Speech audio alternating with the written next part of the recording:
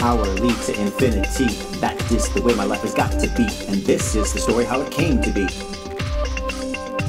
Reading Rich Dad Poor Dad showed me the way, and then four hour Workweek just made my day. But I was lost, stuck, and overworked. I was spinning my wheels and feeling like a jerk.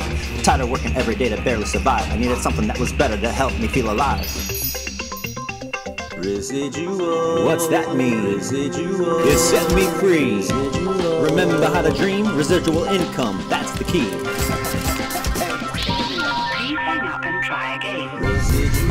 Now you get it. Don't you forget it.